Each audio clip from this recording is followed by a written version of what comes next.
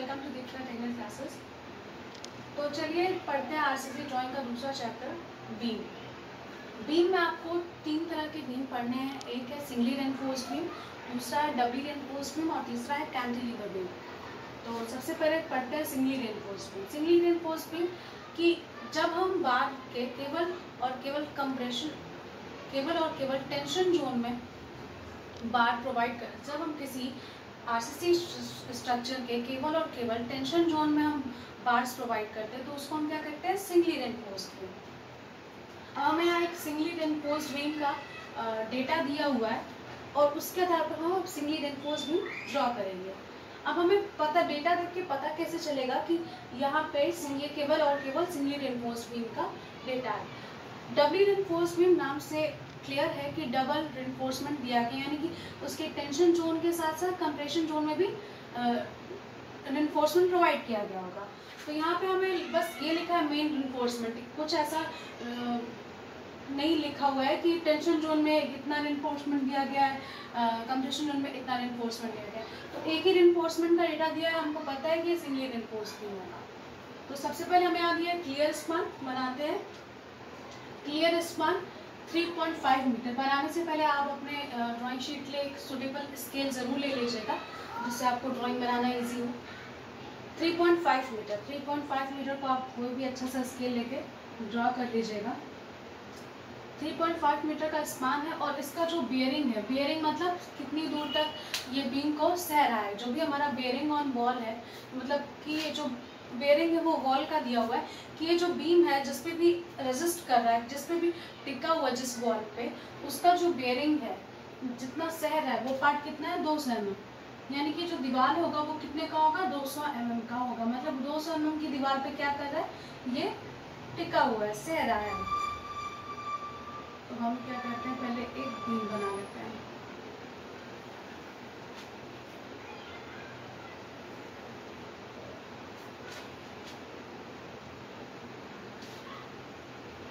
ये तो हमको पता है बीम का स्पान 3.5 मीटर है।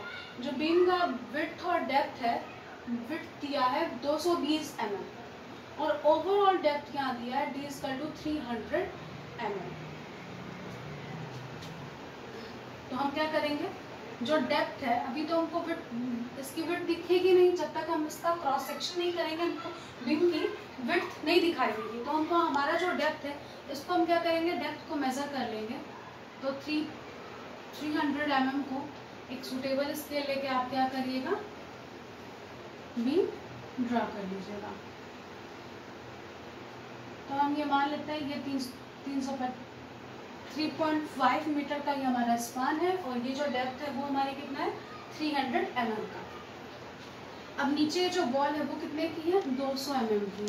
बियरिंग इसकी कितनी है? दो सौ एम एम की। अब हमें पता नहीं वॉल कितनी लंबी है तो हमने क्या किया वॉल को ब्रेक कर दिया।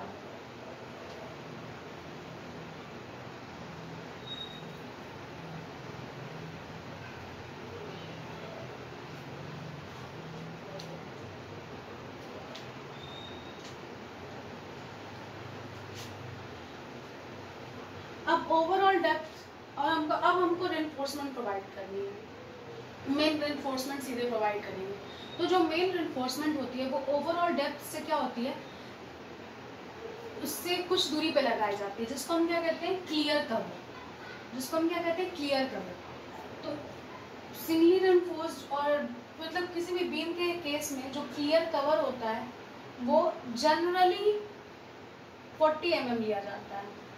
और साइड में जो हम पार्ट छोड़ते हैं, इसको हम कहते हैं एंड कवर इसको हम 20 एम mm छोड़ते हैं जनरली तो हम यहाँ पे भी वही करेंगे 40 एम mm की दूरी पे हम क्या करेंगे? और इधर से 20 एम mm की दूरी पे। हम मेन रिन्फोर्समेंट बना लेंगे।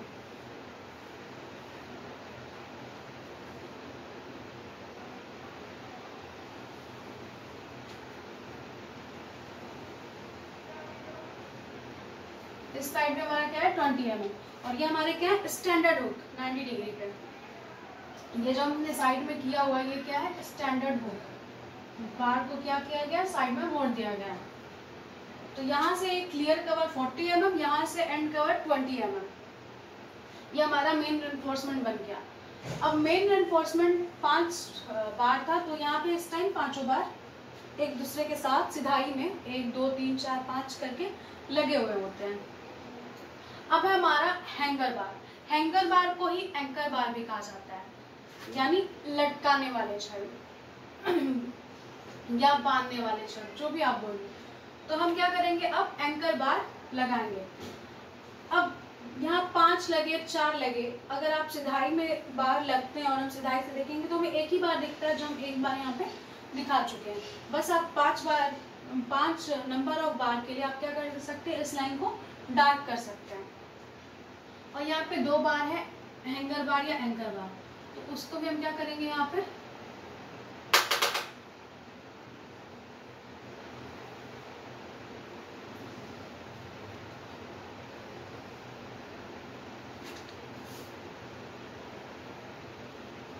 ऐसे लगा देंगे। अब हमारा क्या है? हमें स्टिरप्स लगाने हैं। अब हमें स्टिरप्स लगाने हैं। पिछली क्लास में हमने स्टिरप में नहीं बताया था। स्टिरप का जो डाया होता है वो सिक्स एम mm से सिक्सटीन एम mm तक यूज़ किया जाता है। सिक्स एम mm से सिक्सटीन एम तक यूज़ किया जाता है। और जनरली सिक्स एट टेन में से ही ज़्यादा अप्लाई किया जाता है।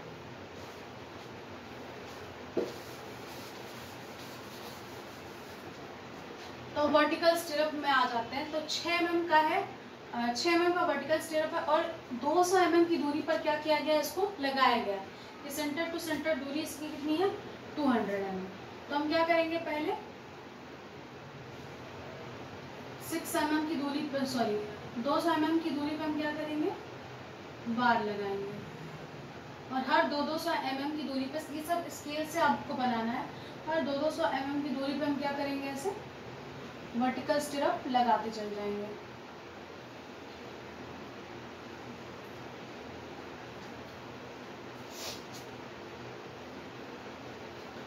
हमने यहाँ पे वर्टिकल स्टिरप लगा दिया। अब क्या है कि जो भी हमारा वर्टिकल स्टिरप है, अगर हम नहीं लगाएँगे तो क्या होगा? नहीं लगाएँगे तो स्ट्रक्चर सीयर में फेल होगा। सीयर में फेल होगा तो क्या होगा इसमें?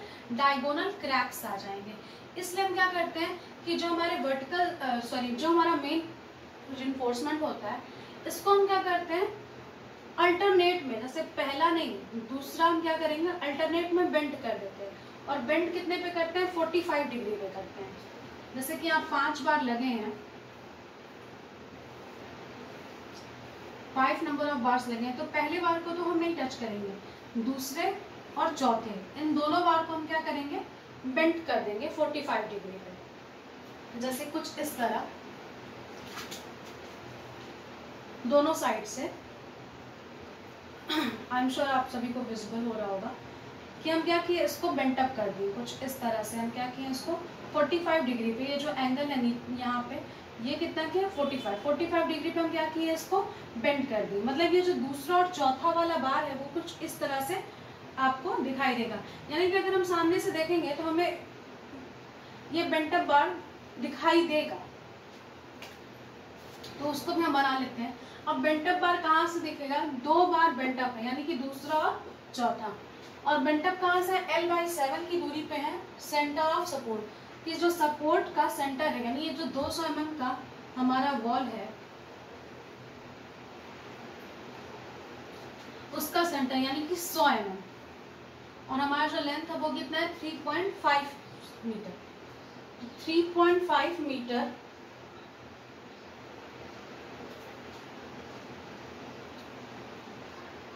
यहाँ हमने क्लियर स्पान एल लिखा हुआ है और यहाँ स्मॉल एल है। ये चीज़ नोट कीजिएगा। यानी कि जो स्मॉल एल है, वो क्या होता है? इफ़ेक्टिव लेंथ होता है। और इफ़ेक्टिव लेंथ हमारा कैसे निकाला जाता है? L plus bearing L plus bearing से हम क्या करते हैं? इफ़ेक्टिव लेंथ निकालते हैं। तो 3.5 है तो और ये कितना हो गया?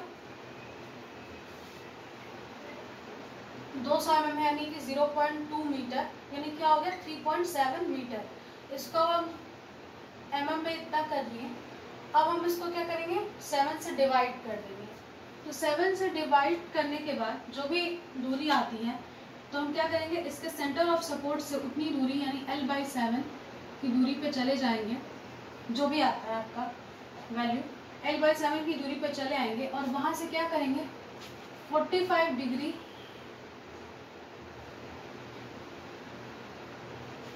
तो एक लाइन खड़ा करके इसको हम क्या करेंगे? कुछ इस तरह हम डार्क कर देंगे। और इसको हम दिखाएँगे कि ये 45 डिग्री पे हमारा क्या है? मेन बार बेंटअप हुआ है। इस साइड से भी हम यही काम करेंगे।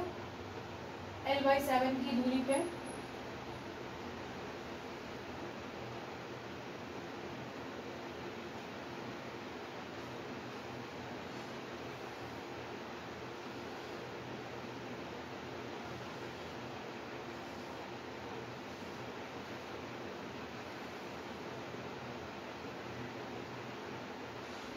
इसको बेंट अप कर देंगे। जैसे कि अभी हमने दिखाया था। यानी दूसरा और जो चौथा बार है, वो क्या होगा? बेंट अप होके ऊपर चला जाएगा। यानी इस टाइम यहाँ पे एंकल बार तो है ही दो नंबर और यहाँ का दूसरा और चौथा बार भी ऊपर ही है। अब हम थोड़ा सा सारा डायमेंशन यहाँ पे क्लियर कर देंगे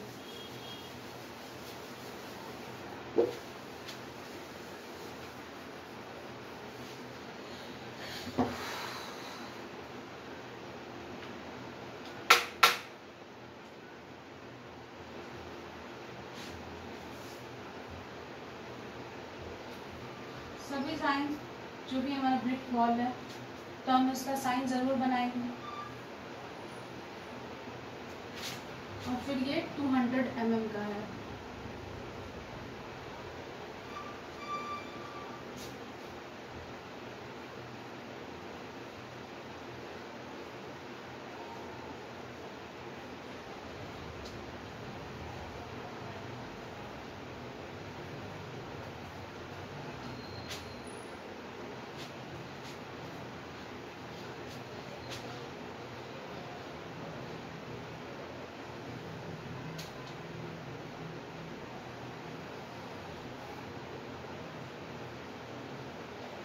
ये हमारा क्या है? मेन रिन्फोर्समेंट है।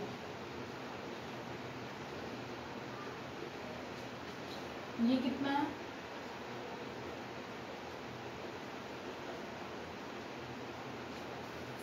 पाँच बार है, और वो कितने का है? बारह में डाया का। पाँच बार लगाया गया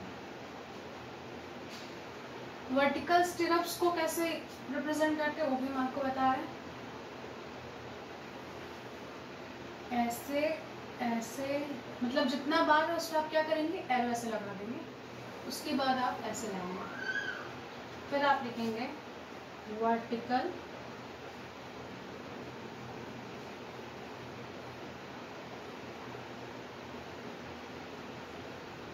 stirrups 6 mm dia at the rate यहाँ लिखते जगह टू ले जाए ये इसी के साथ मिल जाएगा, वरना मैं नहीं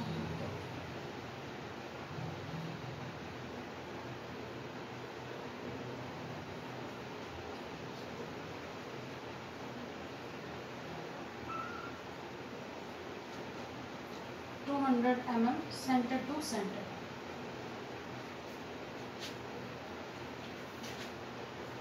overall thickness हम यहाँ क्या करेंगे? जो डेप्थ है बीम की वो हम क्या करेंगे यहाँ पे?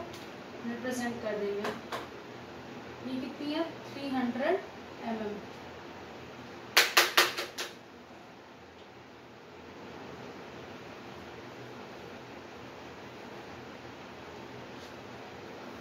almost हमने इसमें सारी नेमिंग कर दी।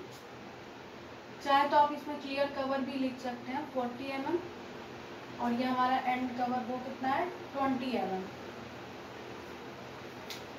ये हमारा बीम सिंगली रेनफोर्स बीम का क्या था? लॉन्गिट्यूडनल सेक्शन यानी लंबाई वाला सेक्शन यानी लॉन्गिट्यूडनल सेक्शन इसी को एल सेक्शन भी कहा जाता है शॉर्ट फॉर्म में।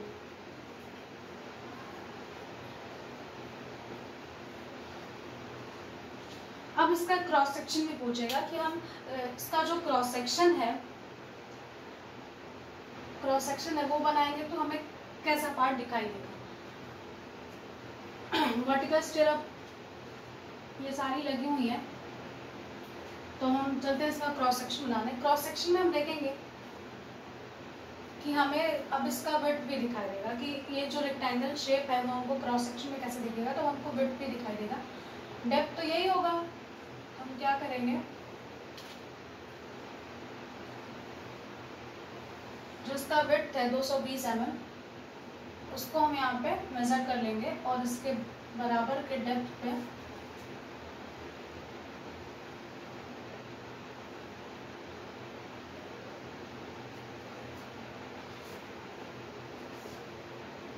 अब इसका क्रॉस सेक्शन एक चीज़ और समझने की बहुत ज़रूरत है। जो इसका क्रॉस सेक्शन है, वो दो जगह से पूछा जा सकता है कि क्रॉस सेक्शन एट सपोर्ट कि इस बीम का जो क्रॉस सेक्शन है, उसको सपोर्ट पे एक बार बनाइए और एक बार मिड स्पान पे बनाइए। एक बार मिड स्पान पे बनाइए क्रॉस सेक्शन और एक बार सपोर्ट पे बनाइए। तो हम दोनों बताएँगे एक बार सेक्शन एट सपोर्ट और सेक्शन एट मिड स्पान तो सपोर्ट पे पहले हम बनाते हैं। सपोर्ट वाला थोड़ा समझना है। सपोर्ट पे क्या होगा? अब हम यहाँ से क्या करेंगे? वर्टिकल स्टिरअप को भी बना लेंगे।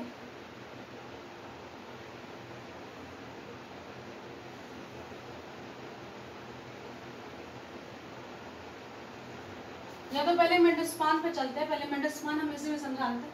सब एक्स एक्स टेक्स तो पहले हम मिड का बनाते हैं। क्रॉस सेक्शन एट मिड कि बीचों बीच में हम सेक्शन काटेंगे तो हमें क्या दिखेगा? तो ये बीम की विड्थ है 220 सौ बीस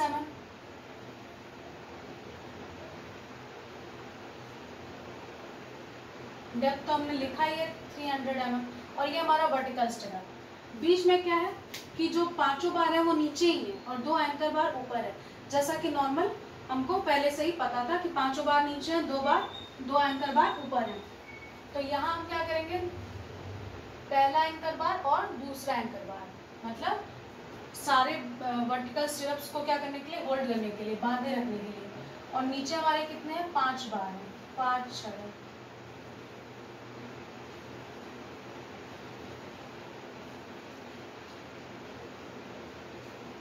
तो कुछ इस तरह का हमारा मिड स्पान में होगा सेक्शन तो वो हमको क्लियरली दिखेगा कि मिड स्पान में ऐसा ही है।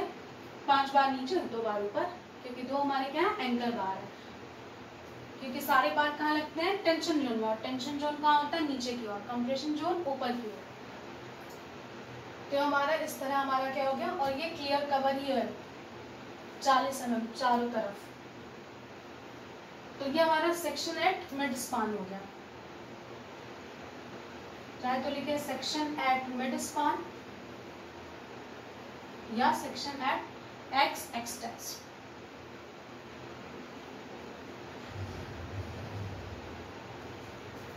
अब हमने मिड स्पान पे सेक्शन बना लिया। अब हम जानेंगे कि सपोर्ट पे कैसे सेक्शन दिखेगा।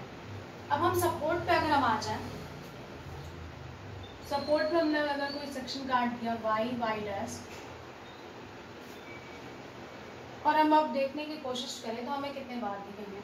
नीचे की ओर इस टाइम क्योंकि यहाँ पे सेक्शन पे सपोर्ट पे क्या है कि दो बार ऑलरेडी बेंटअप होके ऊपर ऊपर की ओर चले गए तो नीचे की ओर कितने बचेंगे? तीन ही बार बचेंगे। पहला, तीसरा और पांचवा। नीचे की ओर तीन ही बार बचेंगे। बाकी के जो दो बार हैं, वो क्या हो गए हैं? बेंटअप होके ऊपर की ओर चले गए यानी कि अब ये जो पाँच ऊपर की ओर दो बार पहले से थे और दो बार ऊपर की ओर बेंटअप होके चले गए और नीचे की ओर तीन बार बचे हुए तो अब हम वही दिखाएँगे, यानी नीचे की ओर सिर्फ़ तीन बार बचे हुए पहला, तीसरा और पांचवा। और जो दूसरा और चौथा वाला था, वो कहाँ चला गया? ऊपर। क्योंकि उसको हमने क्या कर दिया? बेंटअप कर दिया। तो ये दोनों बार क्या हो गए? ऊपर की ओर चले गए। बस इसमें यही चीज़ ध्यान रखने की थी कि दो बार पहले से ही ऊपर बेंटअप हो गए चले गए हैं और बाकी के जो तीन बार है, तीन बार है, तीन छड़ है, वो नीचे की ओर है। पहली, तीसरी और पांचवी। और दूसरी और चौथी कहाँ है? ऊपर की ओर चली गई है। तो यही हमारा क्या सेक्शन एट सपोर्ट है। या वाई वाई डैश जो भी आप तो यही हमारा था सिंगली रेनफोर्स बीम का ड्राइंग तो अगर वीडियो अच्छी लगी हो, आपको समझ में आया तो वीडियो को लाइक और शेयर ज़रूर कीजिए। Thank you